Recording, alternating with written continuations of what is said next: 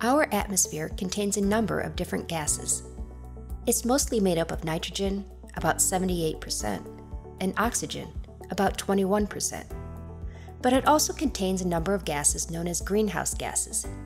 These include water vapor, carbon dioxide, methane, nitrous oxide, ozone, and chlorofluorocarbons, which are usually man made. They're called greenhouse gases because the properties of these gases allow them to retain heat, leading to a warming of our atmosphere. Let's take a closer look at how this happens. Our sun produces light, which is composed of small particles, called photons.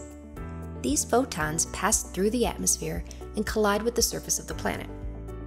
If the surface of the planet is lightly colored, such as areas that are covered by ice or snow, the photons may be reflected back into space. However, if the surface is darker, such as forests or oceans, the photons are absorbed.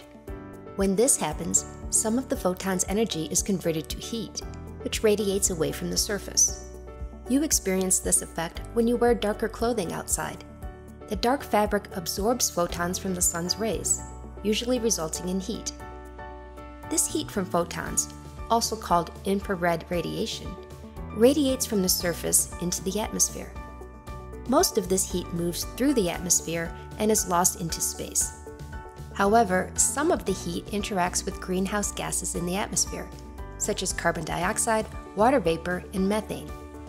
These molecules absorb the infrared energy and slowly release it back into the atmosphere over time it's important to realize that greenhouse gases play an essential role in the maintenance of our planet's temperature, helping it to stay within the limits that allow life to flourish.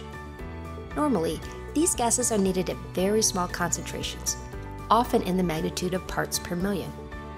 In fact, if our atmosphere had fewer greenhouse gases, the majority of the water on the planet would exist as ice. However, human activities, such as the burning of fossil fuels and modern agricultural practices, have resulted in an increase in the concentration of some types of greenhouse gases, most notably carbon dioxide and methane. This graph shows the progressive increase in carbon dioxide concentrations over the past five decades.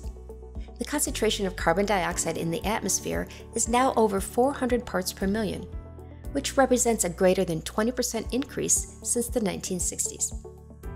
This increase in carbon dioxide concentrations, as well as other greenhouse gases such as methane, is directly related to an observed increase in global temperatures, as shown on the graph here.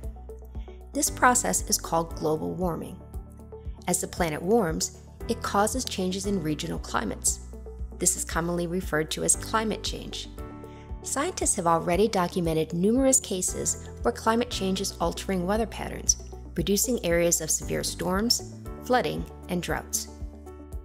At the current rate of greenhouse gas increase, it's projected that the average global temperature may increase by another 3.6 degrees Fahrenheit by 2100.